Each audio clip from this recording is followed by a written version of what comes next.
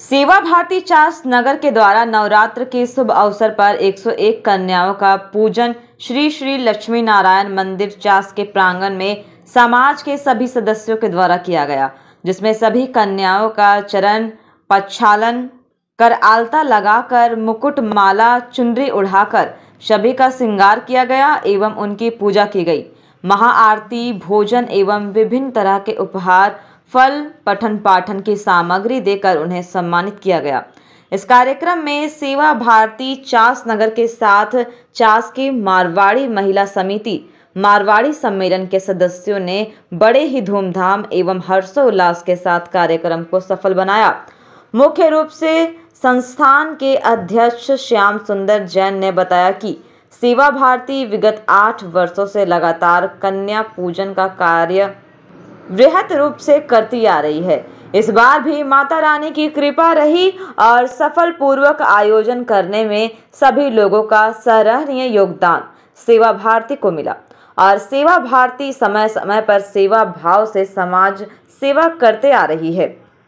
सचिव विकास अग्रवाल ने बताया कि सेवा भारती कन्या पूजन का कार्यक्रम हर वर्ष नवरात्र के अवसर पर करती है और समाज के सभी वर्गों का सहयोग इस कार्यक्रम में भरपूर मिलता है।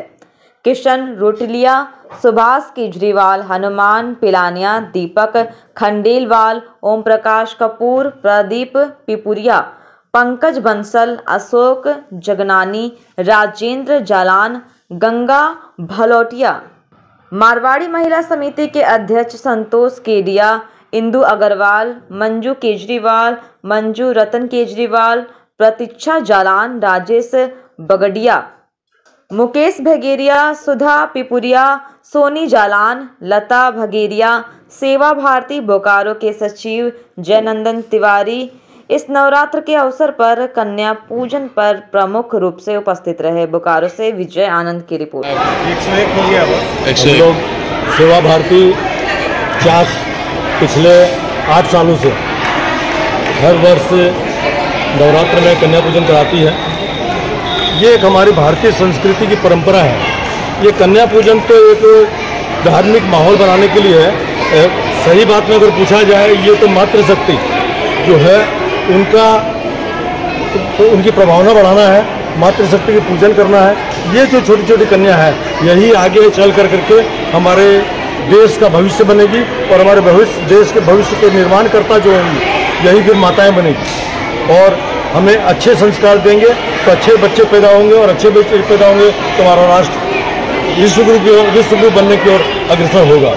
हमारी भावना रहती है कि जितने भी बच्चे हैं यहाँ पे उनको हम लोग संस्कृत संस्कृत करें और उनकी माएँ जो यहाँ आई है, उनसे हमारा अनुरोध रहता है बराबर ही कि आप बच्चों को अच्छे संस्कार दीजिए, अच्छे परिवेश में उनको पालिए और घर में जो माता पिता है, उनका वो श्रद्धा करें, उनके साथ में वो अच्छा व्यवहार करें।